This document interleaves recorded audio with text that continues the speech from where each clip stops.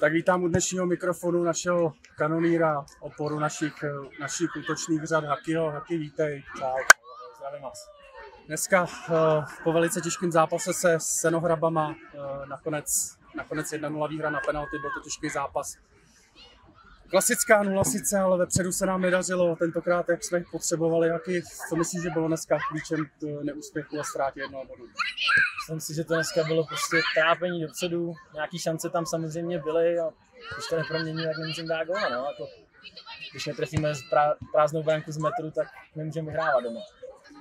Nejsme kapela, aby jsme vyhrávali samozřejmě, nebude nám to tam padat furt, ale s pokorou půjdeme do dalších zápasů. Eh, spíš by mě zajímalo, jaký, kdyby si měl říct za tým, eh, jaký jsou naše cíle pro letošní sezónu, jaký máme ambice.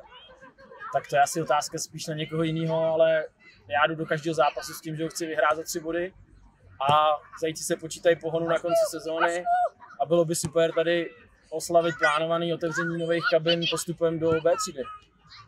To bych byl taky velice rád. Každopádně, ty jsi nejlepším střelcem našeho mužstva, nejlepším střelcem okresu. Eh, kdyby si měl prozradit recept, jak se stát vlastně takovým eh, obávaným střelcem.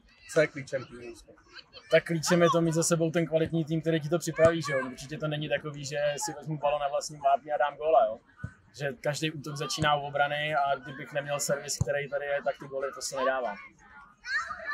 Příští týden jedeme do Radonic, je to soupeř, který je spíš v, ve spodních patrech tabulky, nicméně nevyspytatelný. Vůbec bychom tam neměli jet s nějakýma hlavama nahoře, ale s pokorou, jak vidíš tenhle zápas, jak se na něj připraví?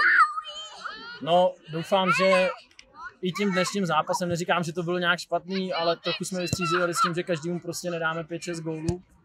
A za týden prostě pojedeme s tím zase makat na 100%, všichni jezdí po perdeli a vrátit se zpátky na vítěznou vlnu za 3 body. No kdo bude mít čas a prostor eh, v sobotu 9.30 výkop v Radonicích, 10.15, omlouvám se, 10.15 výkop v Radonicích. Budeme rádi, když nás přijedete podpořit v co největším počtu, potřebujeme točko, chceme hrát nahoře, chceme postoupit, chceme se být, takže přijďte nás podpořit a snad příště už to bude za plný tři body a za dnešek se omlouváme za tu ztrátu, ale snad to nebyl tak pošklivý fotbal.